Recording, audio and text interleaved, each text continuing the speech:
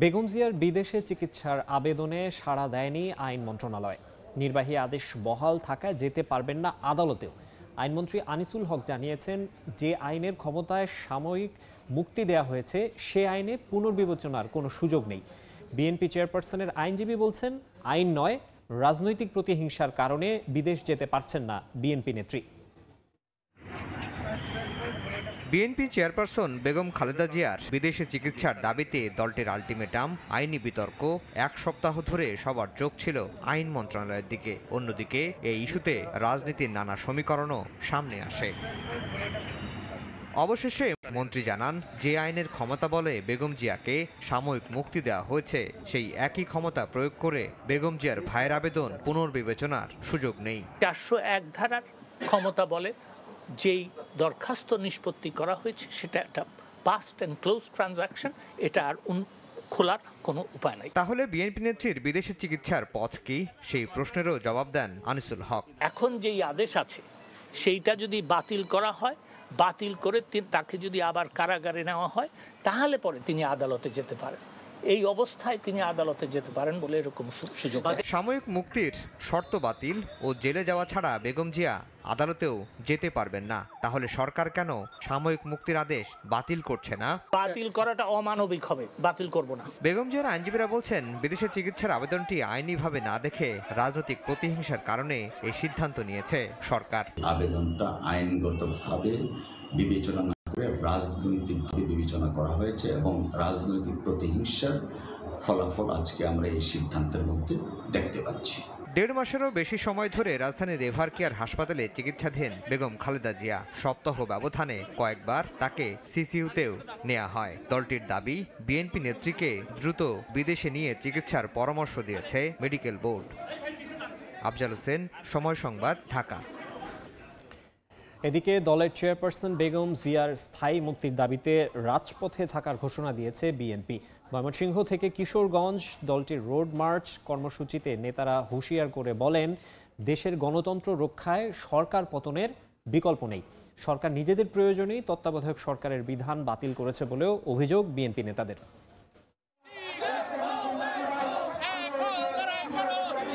সরকারের পদত্যাগ ও নির্দলীয় তত্ত্বাবধায়ক সরকারের দাবিতে রোববার ময়মনসিংহের ত্রিশাল উপজেলার বগারবাজার এলাকা থেকে শুরু হয় বিএনপির বিভাগীয় রোড মার্চ কর্মসূচি। নানা রঙের টি শার্ট ও ক্যাপ পরে বিএনপি নেতাকর্মীরা মোটরসাইকেল, পিকআপ ভ্যান ও প্রাইভেট কারে করে অংশ নেয় রোড মার্চে।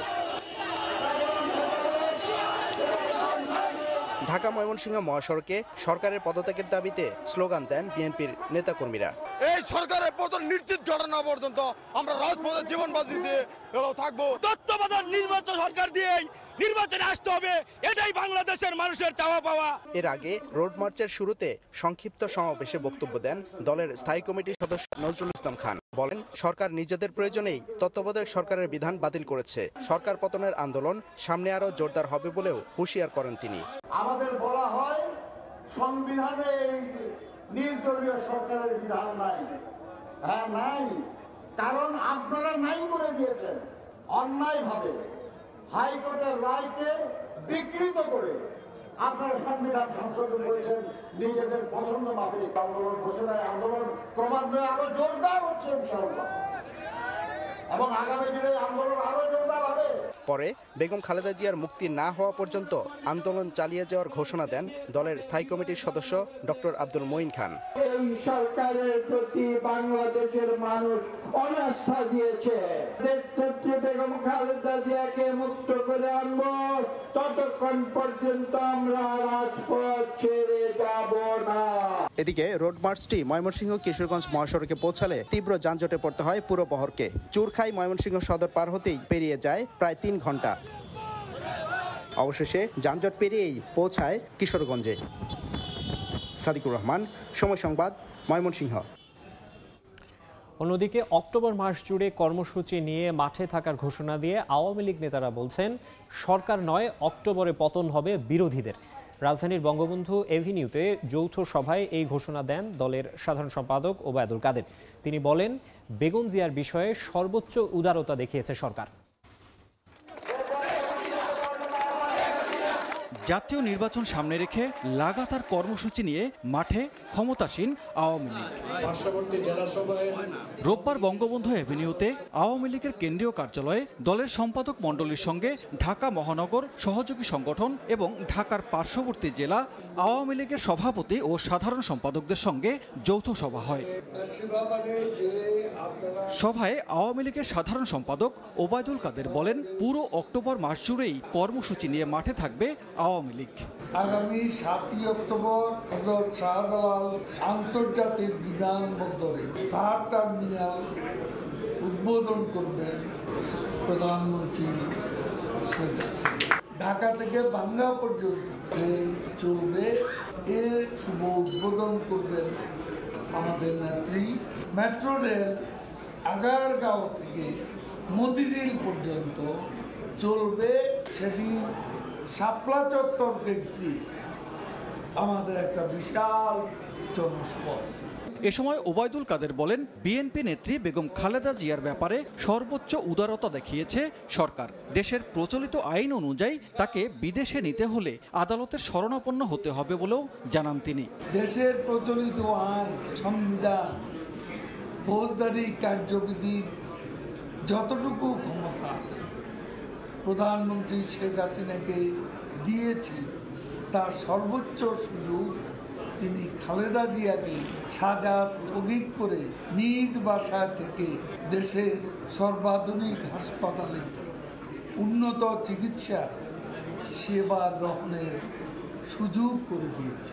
এদিকে ঢাকার আমিনবাজারে শান্তি সমাবেশের প্রস্তুতি সভায় বক্তব্য রাখেন আওয়ামী লীগের সভাপতি মণ্ডলীর সদস্য অ্যাডভোকেট কামরুল ইসলাম। বলেন, বেগম জিয়ার অসুস্থতা নিয়ে রাজনীতি করছে বিএনপি। নির্বাহী আদেশে মুক্তির পদ্ধতি বাদ দিয়ে তারা তো ওই পদ্ধতিতে হাঁটতে পারে, আদালতে দ্বারস্থ হতে পারে, চার বছরের মধ্যে আদালতে যাওয়ার কোনো চিন্তা নাই। আমেরিকা যতই ষড়যন্ত্র করুক না কেন, আমেরিকা পৃথিবীর সবচেয়ে বড় টেরোরিস্ট কান্ট্রি যতই ষড়যন্ত্র করুক না কেন, তিরিশ লক্ষ শহীদের রক্তের বিনিমর্জিত বাংলাদেশ, বঙ্গবন্ধুর বাংলাদেশ, শেখ হাসিনার বাংলাদেশ, এইখানে তারা ইনশাল্লাহ সফলকাম হবে না। এবং আমার তো মানে কেন সন্দেহ হচ্ছে যে তারা এই যে এবাকেয়ার হাসপাতাল আছে তারা খালেদা জিয়াকে দাবার গুটি হিসেবে ব্যবহার করে স্লো পয়জনিং করে খালেদাকে মারার ষড়যন্ত্র করছে কিনা?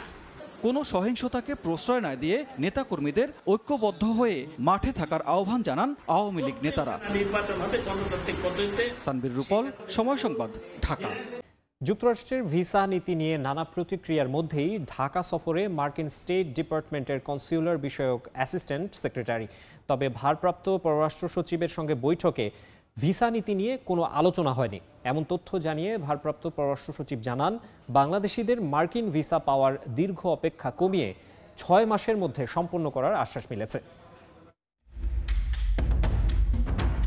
জাতীয় নির্বাচন সামনে রেখে বাংলাদেশিদের জন্য মে মাসে পুরনো ভিসা নীতি নতুন করে ঘোষণা করে যুক্তরাষ্ট্র। বাইশ সেপ্টেম্বর সেই ভিসা নীতি প্রয়োগ করার সিদ্ধান্ত জানায় স্টেট ডিপার্টমেন্ট। এর দুই দিন পর মার্কিন রাষ্ট্রদূত জানান, নতুন ভিসা নীতি কার্যকর হবে গণমাধ্যমের ওপরেও। জানিয়ে শুরু হয় নানা প্রতিক্রিয়া। মার্কিন ভিসা নীতি নিয়ে নানা আলোচনার মাঝেই শনিবার রাতে তিন দিনের সফরে বাংলাদেশে আসেন মার্কিন স্টেট ডিপার্টমেন্টের কনসুলার ব্যুরোর অ্যাসিস্ট্যান্ট সেক্রেটারি রেনা বিটার। মূলত কনসুলার শাখায় ভিসা সংক্রান্ত ইস্যুগুলো দেখে থাকে। রোববার সকালে মার্কিন দূতাবাস পরিদর্শন শেষে দুপুরে পররাষ্ট্র মন্ত্রণালয়ে আসেন মার্কিন অ্যাসিস্ট্যান্ট সেক্রেটারি। ভারপ্রাপ্ত পররাষ্ট্র সচিবের সঙ্গে ঘণ্টাখানেকের বৈঠক হয় তার, যেখানে উপস্থিত ছিলেন মার্কিন রাষ্ট্রদূত পিটার হাসো। সাধারণত মার্কিন ভিসা আবেদন করলে সাক্ষাৎকারের তারিখ পেতেই সময় লেগে যায় এক থেকে দেড় বছর। বাংলাদেশিদের ভিসা প্রক্রিয়া ছয় মাসের মধ্যে সম্পন্ন করার বিষয়ে মার্কিন অ্যাসিস্ট্যান্ট সেক্রেটারি বৈঠকে আশ্বাস দিয়েছেন বলে জানান ভারপ্রাপ্ত পররাষ্ট্র সচিব। তারা তুলে তুলেনি তবে হ্যাঁ আমাদের কিছু বিষয় ছিল যে আমরা, আমাদের ছাত্ররা ঠিকমতো ভিসা পায় না। আমাদের যারা ধরেন আন্তর্জাতিক সংস্থায় চাকরি করে বাংলাদেশে অরিজিন তারা তাদের ভিসা পেতে সমস্যা হয় সেই বিষয়গুলো আমরা তুলে ধরেছি। তারা যে ভিসা দেয় এখন তো অনেক সময় লাগে তাদেরকে সম- লোক কম সেই সময়টা তারা ছয় মাসের মধ্যে চেষ্টা করবে। বৈঠক শেষে ভারপ্রাপ্ত পররাষ্ট্র সচিব আরও জানান নতুন ভিসা নীতি নিয়ে কোনো আলোচনাই হয়নি বৈঠকে। ব্যক্তিগতভাবে বলতে চাই যে ভিসা নীতি নিয়ে কোনো আলাপ আলোচনা আছে। তারা তুলেনি এছাড়া রোহিঙ্গা প্রত্যাবাসন ইস্যুতে সহায়তা অব্যাহত রাখার আশ্বাসও দেয় সফররত মার্কিন কর্মকর্তা। তাজওয়ার মাহমিদ সময় সংবাদ ঢাকা। বাংলাদেশ নিয়ে নানা ইস্যুতে মার্কিন প্রশাসনের দ্বিচারিতা, উদ্দেশ্যমূলক বক্তব্য প্রচারণা থামছেই না। আর তাদের অপতৎপরতার পালে হাওয়া দিচ্ছেন কিছু সুশীল রাজনৈতিক দল ও নেতা। মার্কিনরা যার বন্ধু, তার কোনো শত্রুর প্রয়োজন নেই এই প্রমাণিত প্রবাদ ভুলে। যারা তাদের সঙ্গে গলা মেলাচ্ছেন, স্বার্থ ফুরিয়ে গেলে যখন ছুঁড়ে ফেলা হবে তাদের, তখন কি আফসোস করার সুযোগটুকুও থাকবে? এদিকে একের পর এক বিতর্কিত মন্তব্য করে ট্রলের পাত্র পিটার হাস। বিস্তারিত দেখুন রিপোর্টে।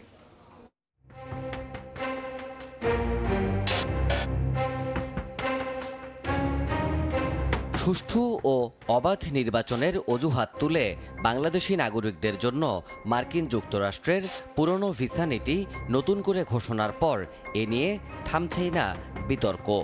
কখনো ঢাকার মার্কিন রাষ্ট্রদূত পিটার হাস কখনো তাদের পররাষ্ট্র দফতরের মুখপাত্র ম্যাথিউ মিলার জন্ম দিচ্ছেন নতুন নতুন বিতর্কের। আর এসব নিয়ে গণমাধ্যমের প্রশ্নের জবাবে কখনো অপ্রস্তুত হয়ে যাচ্ছেন তারা। কখনো দিচ্ছেন গোঁজা মিলের উত্তর, আবার কখনো সুচতুর কূটনৈতিক চাতুর্যে এড়িয়ে যাচ্ছেন প্রশ্ন। এই যেমন মার্কিন পররাষ্ট্র দফতরের সবশেষ ব্রিফিংয়ে ঢাকায় মার্কিন রাষ্ট্রদূতের এক মন্তব্য ঘিরে ম্যাথিউ মিলারকে প্রশ্ন করেন বিএনপি জামাত জোট সরকারের সময়ে বেগম জিয়ার প্রেস উইংয়ে কাজ করা মুশফিক ফজল। উত্তরে মিলার বলেন, তার দেশ আশা করে ভিয়েনা কনভেনশন অনুযায়ী দূতাবাসের কর্মকর্তাদের নিরাপত্তা নিশ্চিত করবে বাংলাদেশ। এই প্রেক্ষাপটে পর্যবেক্ষকদের কেউ কেউ প্রশ্ন তুলছেন, ভিয়েনা কনভেনশন অনুযায়ী সব দেশই কূটনীতিকদের নিরাপত্তা নিশ্চিত করে আসছে। তাহলে বাংলাদেশও কেন এর ব্যতিক্রম হবে? আবার উল্টো প্রশ্নও আসে, বাংলাদেশে এমন কি পরিস্থিতি হলো যাতে মার্কিন কূটনীতিকদের নিরাপত্তা নিয়ে প্রশ্ন উঠতে পারে? যুদ্ধপীড়িত ইউক্রেন সহ এমন আরও অনেক দেশেই এখনও মার্কিন কূটনীতিকরা অবস্থান করছেন, কিন্তু সেসব দেশে তাদের নিরাপত্তা নিয়ে কেউ প্রশ্নও তোলে না। মার্কিন প্রশাসনের কোনো উদ্বেগও নেই। শুধু বাংলাদেশের বেলায় এমন প্রশ্ন তোলা অবশ্যই উদ্দেশ্য প্রণোদিত বলে মনে করেন অনেকেই। এদিকে পিটার হাসের সাম্প্রতিক একের পর এক বিতর্কিত মন্তব্য এবং কাজের মধ্য দিয়ে বাংলাদেশে মিম ও ট্রলের পাত্র হয়েছেন তিনি। এখন যে কোনো সামাজিক বিষয়েও তাকে ঘিরে ট্রল করছেন নেটিজেনরা। আধুনিক বিশ্বের ইতিহাসে আর কোনো কূটনীতিক নিজেকে এতটা খেলো করেছেন বলে নজির পাওয়া যায় না। বাংলাদেশের বিরোধী রাজনৈতিক দলের নেতারা যে ভাষায় কথা বলেন, বেশিরভাগ ক্ষেত্রে পিটার হাসের মন্তব্য একই ধরনের। আবার পিটারের এসব অর্বাচীন মন্তব্যে খুশিতে গদগদ বাংলাদেশের কিছু রাজনৈতিক দল ও নেতারা, এমনকি ভিসা নীতি ঘোষণার পরপরই বিভিন্ন ফেসবুক পেজ থেকেও যুক্তরাষ্ট্রকে সমর্থন করে পোস্ট করতে দেখা গেছে। শুধু তাই নয়, পিটার হাসকে বাংলাদেশের সত্যিকারের বন্ধু হিসেবে অভিহিত করে ইসলামী ছাত্র শিবির পরিচালিত বাঁশের কেল্লা পেজ থেকেও পোস্ট করা হয় সোশ্যাল মিডিয়ায়। পিটার হাস এবং মার্কিন পররাষ্ট্র দফতরের যখন এই অবস্থা তখন সাম্প্রতিক ঘটনাবলিতে চোখ রাখলে উঠে আসে বব মেনেন্ডেজ নামে এক ডেমোক্র্যাট সিনেটরের নাম। মার্কিন কংগ্রেসের উচ্চকক্ষের এই সদস্য কদিন আগেও ছিলেন বৈদেশিক সম্পর্ক বিষয়ক কমিটির চেয়ারম্যান। দুর্নীতির অভিযোগ মাথায় নিয়ে পদত্যাগ করতে হয় তাকে, এখন আছেন বিচার বিভাগীয় তদন্তের মুখে। মিশর সরকারের সহায়তা পাইয়ে দেওয়ার উদ্দেশ্যে তিন ব্যক্তির কাছ থেকে নগদ টাকা স্বর্ণালঙ্কার সহ মূল্যবান সামগ্রী ঘুষ নিয়েছিলেন তিনি। শুধু এটি নয় এর আগেও তিনবার নৈতিক স্খলনের অভিযোগ ছিল তার বিরুদ্ধে। এই বব মেনেন্ডেজ একসময় বাংলাদেশের আইন প্রয়োগকারী সংস্থা র্যাবের বিরুদ্ধে মানবাধিকার লঙ্ঘনের অভিযোগ তুলে চিঠি দিয়েছিলেন ট্রাম্প প্রশাসনের পররাষ্ট্রমন্ত্রী মাইক পম্পেওকে। নিরপেক্ষ বিশ্লেষকদের কেউ কেউ প্রশ্ন তুলছেন বব মেনেন্ডেজ টাকার বিনিময়ে বিশ্বের বিভিন্ন দেশ ও সরকারের বিরুদ্ধে কাজ করেছেন। তাহলে কি বাংলাদেশের র্যাবের ক্ষেত্রেও একই পথ অনুসরণ করেছেন তিনি? অর্থাৎ কারও কাছ থেকে অনৈতিক সুবিধা নিয়ে র্যাবকে প্রশ্নবিদ্ধ করার চেষ্টা করেছেন এই মার্কিন রাজনীতিক। প্রশ্ন এরকমও রয়েছে যে সকল কূটনৈতিক শিষ্টাচার ভুলে ঢাকার মার্কিন রাষ্ট্রদূত পিটার হাস যেভাবে রাজনৈতিক কর্মীর মতো মন্তব্য করে যাচ্ছেন, সেখানেও কি অর্থের লেনদেনের কোনো যোগ আছে? উত্তর তোলা থাকলেও ভবিষ্যতের কাছে। নিশ্চয়ই একদিন আলোতে আসবে সব, যেমন পাতাল ফুঁড়ে উইকিলিক্স বের করে এনেছে মার্কিন প্রশাসনের অনেক কালো অধ্যায়। হয়তো ফিনিক্স পাখির মতো আসবে এমন কেউ যে পৃথিবীর সামনে তুলে ধরবে গণতন্ত্র ও মানবাধিকারের নিশান, আড়ালে আবডালে মার্কিনীদের দগদগে কালো ঘা। দেবাশিস রায়, সময় সংবাদ, ঢাকা। বঙ্গোপসাগরে তীব্র ঢেউয়ে বিকল হয়ে ডুবছিল জাহাজ। দিকবিদিক ভাসছিলেন তেরো নাবিক, বাঁচার আশাও ছেড়ে দিয়েছিলেন অনেকে। রাতভর সাগরের রুদ্ধশ্বাস অভিযানে তাদের উদ্ধার করল কোস্টগার্ড অনেক বিশ্বাসের ক্যামেরায় দেখুন শফিকুল আলমের রিপোর্ট। গভীর সাগরে ডেউয়ের তুরে বিকল জাহাজ। ডুবন্ত জাহাজে বাঁচার আকুতি নাবিকদের। তাদের উদ্ধারে রাতভর রুদ্ধশ্বাস অভিযান কোস্টগার্ডের। শনিবার সকালে সাতশো পঞ্চাশ টন কয়লা বোঝাই করে ঢাকায় যাচ্ছিল এমবি হুমায়রা লাইটের জাহাজ। বঙ্গোপসাগরের ভাষাঞ্চর থেকে দশ নটিক্যাল মাইল দূরে প্রবল ঢেউয়ে প্রথমে জাহাজের হ্যাচে পানি ঢুকে, পরে ইঞ্জিন বিকল হয়ে ডুবতে থাকে জাহাজটি। খবর পেয়ে রাতে কোস্টগার্ডের উদ্ধারকারী জাহাজ সবুজ বাংলা তেরো নাবিককে উদ্ধার করে। রোববার সকালে তাদের আনা হয় কোস্টগার্ড পতেঙ্গা পনেরো নম্বর ঘাটে। জাহাজের ইঞ্জিন ক্ষতিগ্রস্ত হয় এবং জাহাজটি উত্তাল সমুদ্রে নিয়ন্ত্রণহীনভাবে ভাসতে থাকে। দুঃসাহসিক উদ্ধার অভিযানের মাধ্যমে অর্ধদুঘণ্ট তেরো জন ক্রুকে উদ্ধার করা হয়। নাবিকরা জানান গভীর সাগরে যখন জাহাজটি ডুবছিল তখন বাঁচার আশা ছেড়েই দিয়েছিলেন অনেকে। জানান শ্বাস শ্বাসরুদ্ধকর সেই ভয়ঙ্কর অভিজ্ঞতার কথা। স্যার রোলিং এর পানির বাড়িতে এসে হাজের ভিতরে হলকা ভেঙে পানি ঢুকে গেছে এদের ভিতরে। তখন তো আমরা আশা ছেড়ে দিচ্ছে যে আমরা আর বাঁচবো না, যেহেতু মালিক আমাদের কোনো উদ্ধার করার কোনো ই নেয়নি, পদক্ষেপ নেয়নি। আমাদের মাস্টার সাহেব ড্রাইভার সাহেব আমাদের বাঁচানোর জন্য এই জাহাজে, ওই জাহাজে অনেক চেষ্টা করছে কেউ আমাদের উদ্ধার করার জন্য আগে আসে নাই। জাহাজটা ডুবে যাইতে লাগছে এরকম অবস্থা। তখন আমরা কোস্টগার্ডের সঙ্গে তার আগে থেকে অবশ্যই যোগাযোগ করছি। তখন আমরা বলি তখন আমাদেরকে যে উদ্ধার করে নিয়ে আসে। কোস্টগার্ড জানায় সকাল থেকে চলা তিন নম্বর সতর্ক সংকেত অমান্য করায় বিপদে পড়ে জাহাজটি। নাবিকদের প্রাথমিক চিকিৎসার পরে মালিকের কাছে হস্তান্তর করা হয়েছে। শফিকুল আলম সময় সংবাদ চট্টগ্রাম।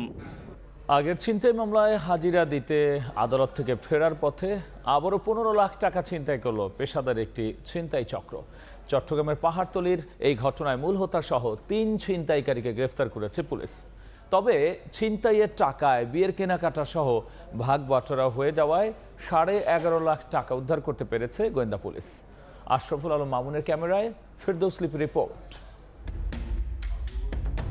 সিসিটিভির ফুটেজে দেখা যায়, আঠারোই সেপ্টেম্বর দুপুর বারোটার দিকে বাজারের ব্যাগ ভর্তি করে নিজের পেনশনের চোদ্দ লাখ ছিয়ানব্বই হাজার টাকা ইসলামী ব্যাংকের পাহাড়তলি শাখা থেকে তুলে আগ্রাবাদের দিকে যাচ্ছিলেন ষাট বছর বয়সী রেলওয়ের অবসরপ্রাপ্ত কর্মচারী মোহাম্মদ রুহুল আমিন। এই সময় পেছন থেকে দ্রুত গতিতে আসা এক সিএনজি থেকে ছো মেরে অনেকটা ফিল্মি কায়দায় ব্যাগটা টেনে নিয়ে যায়। তাৎক্ষণিক কিছু না বুঝলেও চিৎকার শুরু করেন রুহুল আমিন। তার চিৎকারে আশপাশের মানুষ চলন্ত সিএনজি অটোরিকশাকে ধরার চেষ্টা করলেও ব্যর্থ হয়। অভিযোগ করা হলে পুলিশ চোদ্দটি সিসি ক্যামেরার ফুটেজ পর্যালোচনা ও তথ্য প্রযুক্তি ব্যবহার করে সিএনজি অটোরিকশাটিকে শনাক্ত করে এবং তিন আসামিকে চট্টগ্রাম ও ঢাকায় অভিযান চালিয়ে গ্রেফতার করে। এই সময় ছিনতাই কাজে ব্যবহার হওয়া সিএনজিটি আটক ও ছিনতাই হওয়া টাকার মধ্যে সাড়ে এগারো লাখ টাকা উদ্ধার করা হয়। পুলিশ জানায় গ্রেফতার তিনজনই সতেরোই সেপ্টেম্বর ছিনতাইয়ের আরেক মামলায় হাজিরা দিতে এসে পরিকল্পনা করে আবারও ছিনতাইয়ের। সিএনজি এক পাশে রেখে তারা অবজার্ভ করতেছে কে নামে ব্যাংক থেকে। চাচা এই সময় নামছে। সে দেখছে, উঁকি দিয়ে দেখে যে এক হাজার টাকার নোট মানে নোটের ইয়াটা দেখা যাচ্ছে। তখন সে ওই ওদেরকে জানায় এবং তারা দ্রুত গিয়ে সিএনজিতে ওঠে এবং চাচা যখন হেঁটে যায়, পিছন থেকে এসে ব্যাগটা টান দিয়ে নিয়ে চলে যায়। শেষ বয়সে নিজের শেষ আর্থিক সম্বলটুকু অপ্রত্যাশিতভাবে ফেরত পেয়ে আবেগে আপ্লুত হন রুহুল আমিন। ইয়ে আমি সব আলহামদুলিল্লাহ আল্লাহ আল্লাহর কাছে দোয়া করি। পেশাদার এই তিন ছিনতাইকারীর বিরুদ্ধে ছিনতাই মামলা ছাড়াও বেশ কয়েকটি থানায় অস্ত্র মামলা রয়েছে। ফেদুসলিপি সময় সংবাদ চট্টগ্রাম। গত চব্বিশ ঘন্টায় ডেঙ্গু আক্রান্ত হয়ে আরও সতেরো জনের মৃত্যু হয়েছে। এ নিয়ে চলতি বছর ডেঙ্গু আক্রান্ত হয়ে মৃতের সংখ্যা ছাড়ালো এক হাজার ছয় জনে। নতুন করে হাসপাতালে ভর্তি হয়েছেন দুই হাজার আটশো বিরাশি জন। রোববার ডেঙ্গু বিষয়ক প্রতিবেদনে এই তথ্য জানানো হয়। এর আগে দু হাজার বাইশ সালে ডেঙ্গুতে দেশের ইতিহাসের সর্বোচ্চ দুইশো একাশি জন মারা যান। ওই বছরের শেষ মাস ডিসেম্বরে ডেঙ্গুতে সাতাশ জনের মৃত্যু হয়। চলতি বছর ডেঙ্গুতে মৃত্যুর সংখ্যায় ব্রাজিলকে পেছনে ফেলে শীর্ষ দেশের তালিকা এখন বাংলাদেশ। চলতি মাসেই আলোর মুখ দেখছে একগুচ্ছ বৃহৎ উন্নয়ন প্রকল্প। পারমাণবিক জ্বালানির মালিকানা বুঝে নেওয়ার পাশাপাশি সড়ক ও রেল যোগাযোগের বেশ কয়েকটি প্রকল্পের উদ্বোধন করবেন প্রধানমন্ত্রী শেখ হাসিনা। একই সাথে চালু হবে বিমানবন্দরের তৃতীয় টার্মিনাল। উত্তরার মেট্রো রেল ছুটবে মতিঝিল পানে আর পদ্মা পাড়ি দিয়ে ট্রেন যাবে ফরিদপুর। কেবল তাই নয়, নদীর তলদেশে দক্ষিণ এশিয়ার প্রথম টানেলের যাত্রাও শুরু হবে সরকার প্রধানের হাত ধরে। ফারুক রবিন জানাচ্ছেন বিস্তারিত।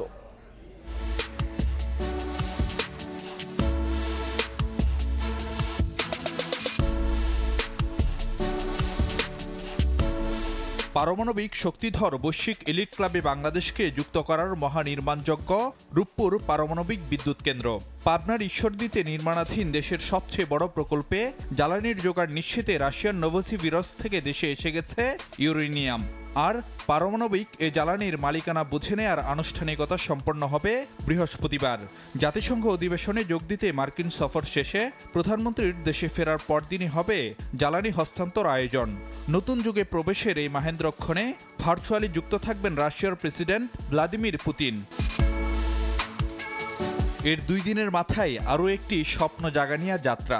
সাত অক্টোবর আংশিকভাবে হজরত শাহজালাল আন্তর্জাতিক বিমানবন্দরের তৃতীয় টার্মিনাল উদ্বোধন করবেন সরকার প্রধান। তবে এখানেই শেষ নয় স্বপ্নযাত্রা আরও প্রসারিত হওয়ার অপেক্ষায় যোগাযোগের দক্ষিণ দুয়ার। কল্পনাকে হার মানিয়ে এবার পদ্মা পাড়ি দিবে ট্রেন। ঘন্টায় একশো বিশ কিলোমিটার বেগে কমলাপুর থেকে ছুটবে ফরিদপুর পানে। দশ অক্টোবর নতুন এই রেলপথের উদ্বোধন করবেন প্রধানমন্ত্রী শেখ হাসিনা। যানজটে নাকাল ঢাকার স্থবিরতা কাটিয়ে নগরবাসীর জন্য অপেক্ষা করছে গতিময় যাত্রার আরও একটি অধ্যায়। চলতি মাসেই চালু হচ্ছে মেট্রো রেলের আগারগাঁও থেকে মতিঝিল অংশ। আগামী তেইশ অক্টোবর এই নবযাত্রার উদ্বোধন করবেন সরকার প্রধান। এগিয়ে চলার গল্প বলছে বন্দরনগরী, চট্টগ্রামও। নির্মাণযোগ্য পেরিয়ে যান চলাচলের জন্য প্রস্তুত নদীর তলদেশে দক্ষিণ এশিয়ার প্রথম টানেল। কর্ণফুলীর দুই পার্কে সংযুক্ত করে যোগাযোগ ব্যবস্থা সহজ করার অপেক্ষায় বঙ্গবন্ধু টানেল। টানেলের ভেতর চার লেনের সড়ক গতি আনবে জনজীবনে। আগামী আটাশে অক্টোবর এই মহাপ্রকল্পের আনুষ্ঠানিক যাত্রার উদ্বোধন করবেন প্রধানমন্ত্রী শেখ হাসিনা। বিশেষজ্ঞরা মনে করেন, এসব উন্নয়ন প্রকল্পের প্রভাব কেবল যোগাযোগ ব্যবস্থা, আমূল বদলে দেওয়ার মধ্যেই সীমাবদ্ধ থাকবে না, অর্থনীতিতেও রাখবে গতিশীল ভূমিকা। এগুলোর ইনডাইরেক্ট বেনিফিটটাই হলো গুরুত্বপূর্ণ, যেটা অন্য অর্থনৈতিক উদ্যোগকে চাঙ্গা করে। যেমন পদ্মা ব্রিজ যখন হলো, তখন পদ্মা ব্রিজের আশেপাশে অনেক অর্থনৈতিক উদ্যোগ তৈরি হলো। উত্তর এবং দক্ষিণের মধ্যে মোবিলিটি অফ ইকোনমিক ফ্যাক্টর বেড়ে গেল, প্রতিযোগিতা বেড়ে গেল। চলতি মাসে বৃহৎ প্রকল্প উদ্বোধনের পাশাপাশি কয়েকটি বড় প্রকল্পের নির্মাণ কাজের ভিত্তি স্থাপনেরও কথা রয়েছে। ফারুক ভিয়া, রবিন, সময় সংবাদ। ঢাকা। আমদানি স্বাভাবিক হতেই এক ধাক্কায় অর্ধেক কমে দেড়শোতে নামলো কাঁচা মরিচের কেজি। অন্যদিকে গেল দুই সপ্তাহেও সরকারের বেঁধে দেয়া আলু পেঁয়াজের দাম বাজারে কার্যকর হয়নি। আলু সর্বোচ্চ ছত্রিশ টাকার পেঁয়াজ পঁয়ষট্টি টাকা হওয়ার কথা থাকলেও গুনতে হচ্ছে বাড়তি পনেরো থেকে বিশ টাকা। এতে পড়েছেন ক্রেতা। সরকারের বেঁধে দেওয়া দামও যখন কার্যকর হচ্ছে না তখন পাইকারি আড়তে অভিযানে জাতীয় ভোক্তা অধিকার সংরক্ষণ অধিদপ্তর। বাড়তি দাম নিয়ে প্রশ্ন তুলতে বেরিয়ে আসে নানা অসঙ্গতি। জরিমানা করতে গেলে ভোক্তা অধিদপ্তরের কর্মকর্তাদের সঙ্গে বাগবিতণ্ডায় জড়ান ব্যবসায়ীরা। আমাদের দেশি মালে ভাউচার রাখতে করছে ব্যাপারীর ওইটা রাখিনি এই জন্য অন্যায় দুই হাজার টাকা জরিমানা করছে। ম্যাজিস্ট্রেট সাহেবকে যেতে হবে হাটে। হাটে কি দাম বেচে কিনা? কৃষক এখানে মাল আনছে আনে এখানে বেচে বিক্রি করে টাকা নিয়ে চলে গেছে। উনি মেমু দেবে কোথায়? উনি কিনে আনেনি। উনি তো নিজের জমি মাল রাখছিল, ওটা কিনে নিয়ে আসছে এখানে। আমরা যাই ব্যাপারে বইলে আমদানি করছি। বাজার মোটামুটি তিন চার টাকা কমে আছে। মানে আজকের যেই পরিবেশ হয়েছে আবার দেখা যায় আমদানি করব না বাজার অটোমেটিক বাড়বে তখন তারা কি করব? খুচরা বাজারের পাশাপাশি পাইকারি আড়তেও নিয়মিত অভিযান পরিচালনা করছে সরকারি সংস্থাগুলো। তবুও সরকার নির্ধারিত দাম কেন কার্যকর হচ্ছে না এমন প্রশ্নে ভোক্তা অধিকারের এই কর্মকর্তা জানালেন পাইকারি ব্যবসায়ী ও আমদানিকারকরা শুনছেন না তাদের কথা। ওনারা ওনাদের মতো করে আলু কিনে নিয়ে আসতেছেন আসতেছেন এবং এখানে বেশি রেটে বিক্রি করছেন আড়তে। আড়তে বেশি রেটে বিক্রি করলে আড়তারও বেশি রেটে বিক্রি করছেন খুচরা ব্যবসায়ীর কাছে। খুচরায় আলুর কেজি সর্বোচ্চ হওয়ার কথা ছত্রিশ টাকা আর পেঁয়াজ চৌষট্টি থেকে পঁয়ষট্টি টাকা। সেখানে কারওয়ান বাজারেই পাইকারিতে পেঁয়াজ বিক্রি হচ্ছে বিরাশি থেকে পঁচাশি টাকা আর খুচরা বাজারে নব্বই থেকে পঁচানব্বই টাকা। খুচরা বিক্রেতারা বলছেন পাইকারিতেই আলু কিনতে হচ্ছে আটত্রিশ টাকায়। জায়গা যদি মনে করেন না কমাইতে পারে কোলেস্টোরে তাহলে তো আমাদের ই নাই। কারণ আমরা আনি কিনি বেশি সীমিত লাভে বেশি। সর্বোপরি সকল মালই কিন্তু বাড়ে কমে না। আমি ব্যবসায়ী হইলেও কিন্তু আমি অন্য অন্য পণ্যগুলো কিনা খাইতে হইতেছে। মূলত বৃদ্ধি হয়। অন্যদিকে আমদানি স্বাভাবিক হওয়ায় এক ধাক্কায় অর্ধেক কমে দেড়শোতে নেমেছে কাঁচা মরিচের কেজি। তবে আলু পেঁয়াজের মতো অনেক পণ্যের দাম এখনও অস্বাভাবিক ও নাগালের বাইরে বলে দাবি ক্রেতার। আমাদের খাইতে হবে। আগে বিশ টাকা খরচ করতাম এখন দশ টাকা খরচ করি। এই এভাবে চলতেছি আমরা। আশি টাকা নিচে কোনো তরকারি নেই কিন্তু আমাদের যে সাধারণ গরিব মানুষ আমরা যা নিম্নবিত্ত আমাদের তো চলা কষ্ট ভাই। গত তেরো সেপ্টেম্বর আলুর উৎপাদন ও বিপণন খরচ হিসেব করে পাইকারিতে সাতাশ টাকা তেষট্টি পয়সা এবং খুচরায় পঁয়ত্রিশ টাকা সাতাশি পয়সা নির্ধারণ করে দেয় সরকার। একই সঙ্গে দেশি পেঁয়াজের দাম পাইকারিতে বাহান্ন টাকা পঁয়তাল্লিশ পয়সা এবং খুচরায় চৌষট্টি টাকা একানব্বই পয়সা করা হয়। আলতাফ হোসাইন, সময় সংবাদ, ঢাকা। কমিশন বাড়ানোর দাবিতে এক মাসের ব্যবধানে আবারও জ্বালানি তেল উত্তোলন ও পরিবহন বন্ধ রেখেছেন খুলনার ডিপো মালিকরা। এতে দেশের চোদ্দটি জেলার পাম্পে তেল সরবরাহ বন্ধ রয়েছে। ঘুরছে না চাকা, ডিপোর সামনে সারি সারি দাঁড়িয়ে আছে জ্বালানি তেল পরিবহনকারী লরি। রোববার সকাল আটটা থেকে খুলনার পদ্মা মেঘনা ও যমুনা অয়েল ডিপো থেকে জ্বালানি তেল উত্তোলন বন্ধ রয়েছে। জ্বালানি তেল বিক্রির উপর কমিশন বৃদ্ধির দাবিতে তেল উত্তোলন বন্ধ রেখেছে ট্যাঙ্ক লরি ওনার্স অ্যাসোসিয়েশন ও জ্বালানি তেল পরিবেশক সমিতি। এতে খুলনা থেকে দেশের চোদ্দটি জেলার পাম্পে তেল সরবরাহ বন্ধ রয়েছে। অলস সময় পার করছেন শ্রমিকরা।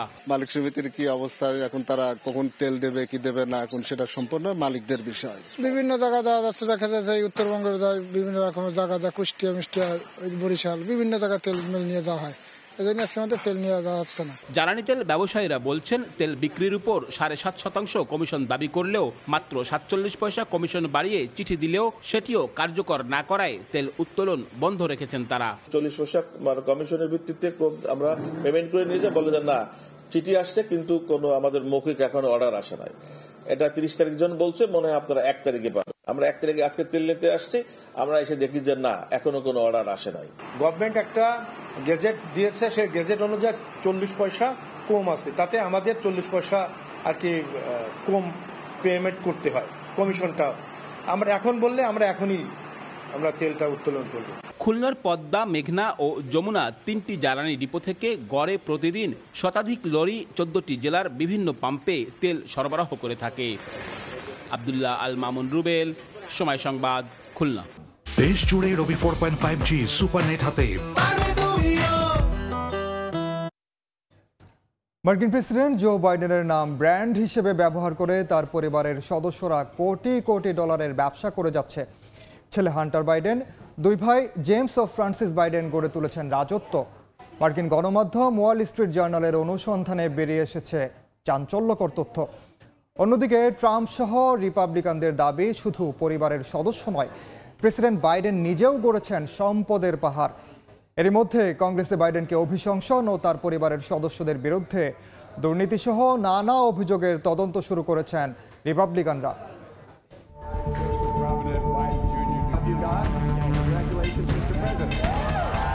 দীর্ঘ পঞ্চাশ বছরের রাজনৈতিক জীবনের পর দু হাজার একুশ সালে প্রেসিডেন্ট হিসেবে হোয়াইট হাউসে প্রবেশের স্বপ্ন পূরণ হয় জো বাইডেনের। তবে প্রথমবার তিনি প্রেসিডেন্ট হওয়ার স্বপ্ন দেখেছিলেন উনিশশো সাতাশি সালে। উনিশশো আটাশি নির্বাচনে ডেমোক্রেট দলের প্রেসিডেন্ট পদপ্রার্থী ছিলেন তিনি। বিবিসি বলছে, অন্যের লেখা চুরি ও অসততার অভিযোগে সে সময় প্রচারণা থেকে সরে দাঁড়াতে বাধ্য হন বাইডেন। দীর্ঘ রাজনৈতিক ক্যারিয়ারে মার্কিন সরকারের বিভিন্ন গুরুত্বপূর্ণ পদে দায়িত্ব পালন করেন বাইডেন। দু হাজার নয় থেকে দু হাজার সতেরো সাল পর্যন্ত ওবামা প্রশাসনের ভাইস প্রেসিডেন্ট ছিলেন তিনি। এ সময় তার নামকে রাজনৈতিক ব্র্যান্ড হিসেবে প্রতিষ্ঠিত করেন বাইডেন। তার নামের এই ব্র্যান্ডিং নিয়েই একটি অনুসন্ধানী প্রতিবেদন প্রকাশ করেছে মার্কিন গণমাধ্যম ওয়াল স্ট্রিট জার্নাল। প্রতিবেদনে বলা হয়, বাইডেনের নাম ব্যবহার করে কোটি কোটি ডলারের ব্যবসা করে যাচ্ছেন তার পরিবারের সদস্যরা, গড়েছেন বহু ব্যবসা প্রতিষ্ঠান। তার ছেলে হান্টার বাইডেন, দুই ভাই, জেমস ও ফ্রান্সিস বাইডেনের বিরুদ্ধেই অভিযোগ বেশি। দু হাজার একুশ সালে একটি স্মৃতিকথা প্রকাশ করেন হান্টার বাইডেন। সেখানে তিনি লেখেন, ট্রাম্পের ছেলেদের মতো বাবার নামের ফায়দা না উঠিয়ে অন্যদের জন্য কাজ করেছেন তিনি। যদিও ওয়াল স্ট্রিটের প্রতিবেদন বলছে ভিন্ন কথা। সম্প্রতি আগ্নেয়াস্ত্র মামলায় অভিযুক্ত হান্টারের বিরুদ্ধে অভিযোগ, বাবা ভাইস প্রেসিডেন্ট থাকাকালীন চীন, ইউক্রেন সহ বিভিন্ন দেশে ব্যবসায়িক নানা চুক্তি ও লেনদেন করেছেন তিনি। শুধু ইউক্রেনের একটি প্রতিষ্ঠানের কাছ থেকে বছরে দশ লাখ ডলার নেন হান্টার। চীনের তেল কোম্পানি থেকে হীরার আংটি নিয়ে অভিযোগ রয়েছে। আর সব ক্ষেত্রে বাবার পদের প্রভাব খাটিয়েছেন হান্টার। দু হাজার তিন সালে ইরাকে আগ্রাসন শুরু করে যুক্তরাষ্ট্র। সেই যুদ্ধে বুশ প্রশাসনের প্রতি নিজের সমর্থন দিয়েছিলেন বাইডেন। বর্তমানে যুদ্ধ কবলিত দেশটিতে এক লাখ বাড়ি নির্মাণ করা হচ্ছে। আর এই কাজটি করছে বাইডেনের ছোট ভাই জেমস বাইডেনের প্রতিষ্ঠান। অন্যদিকে তার আরেক ভাই ফ্রান্সিস বাইডেনও বিভিন্ন ব্যবসায় জড়িত।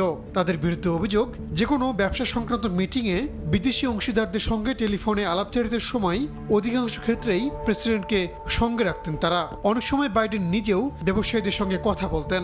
এমনকি অংশীদারদের সঙ্গে বাইডেনকে পরিচয় করে দেওয়া হতো দ্য বিগ গাই হিসেবে। ওয়াল স্ট্রিট জার্নালের মতোই একই অভিযোগ ট্রাম্প সহ রিপাবলিকানদের। তাদের দাবি, ছেলে ও ভাইদের ব্যবসায়ী হিসেবে প্রতিষ্ঠিত করতে ইচ্ছাকৃতভাবেই নিজের ক্ষমতার অপব্যবহার করেছেন জো বাইডেন। এমনকি এসে ব্যবসা থেকে নিজেও লাভবান হয়েছেন। গেল সপ্তাহেই কংগ্রেসে বাইডেনের বিরুদ্ধে অভিশংসনের প্রাথমিক তদন্ত শুরু করেছেন রিপাবলিকানরা। আর চীনের সঙ্গে ব্যবসায়িক চুক্তির কারণে হান্টারের বিরুদ্ধে তদন্ত করছে এফবিআই। তার বিরুদ্ধে কর ফাঁকি ও অর্থ পাচার সহ কয়েকটি আর্থিক অনিয়মের তদন্ত চলছে। যদিও প্রেসিডেন্টের বিরুদ্ধে এমন অভিযোগ সরাসরি প্রত্যাখ্যান করেছে হোয়াইট হাউস। রিপাবলিকানরা প্রেসিডেন্ট সম্পর্কে ক্রমাগত মিথ্যা বলছে দাবি করে এসব অভিযোগের কোনো প্রমাণ নেই বলে উল্লেখ করা হয়েছে। রাহানুল রানা সময় সংবাদ